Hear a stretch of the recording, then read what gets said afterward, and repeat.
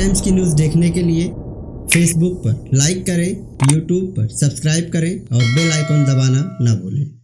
मैं इस्लामुद्दीन खान और आप देख रहे हैं प्रहार टाइम्स। मुमरा कौसा में बड़ी ही शांतिपूर्वक तरीके से शब बारात की रात लोग मस्जिद और कब्रस्तान पहुंचकर इबादत की है। मुमरा के एम एम वली कब्रस्तान और दरगाह रोड कब्रस्तान, कौसा कब्रस्तान में बड़ी संख्या में लोग अपनों की कब्र पर पहुँचे और दुआ मांगी। मुस्लिम समुदाय में शब बारात बेहद ही खास रात है और इस रात को अल्लाह ताला की रहमत बरसती है और रात भर लोग जाग कर अल्लाह ताला की इबादत करते हैं और अपने गुनाहों की माफ़ी मांगते हैं। और इसी तरह से मुस्लिम समुदाय की महिलाएँ भी घर में रहकर शब बारात की रात में घर में ही अल्लाह ताला की इबादत करती हैं और इस दिन रोज़ा भी रखा जाता है।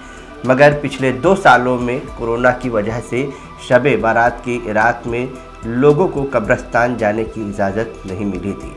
मगर इस साल कब्रस्तान जाने की इजाज़त मिली है और मुमरा, कौसा, कब्रस्तान, एम वली कब्रस्तान और दरगाह रोड कब्रस्तान पर बड़ी संख्या में मुस्लिम समुदाय के लोग इबादत के लिए पहुँचे हैं। और इसी दौरान सड़कों पर ट्रैफ़िक भी काफ़ी संख्या में जाम हो रही थी, मगर कुछ वॉलेंटियर मौजूद थे, जो यहाँ पर ट्रैफ़िक भी कंट्रोल करते हुए नज़र आए।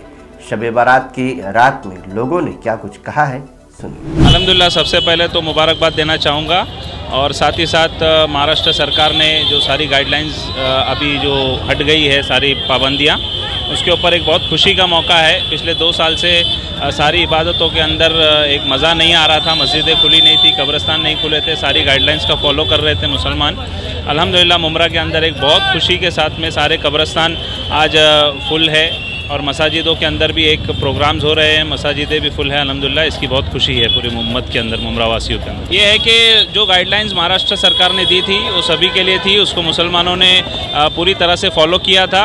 इस साल गाइडलाइंस के अंदर ऐसा आया है और पुलिस स्टेशन में भी जिस तरह से ट्रस्टियों का कहना है कि उन्होंने पुलिस स्टेशन से मीटिंग करके कहा है कि पूरी रात आप खुला रखिए कब्रस्तानों को। इससे बहुत खुशी की बात है कि प्रशासन जो है, साथ में एक तालमेल के साथ में एक अच्छा मैसेज भी जा रहा है। सारे लोगों के अंदर खुशी है। और पिछले दो साल के अंदर जो लॉकडाउन लगा था, सभी के लिए था तो उसको मुसलमानों ने, ईमान वालों ने भी उसको फॉलो किया था।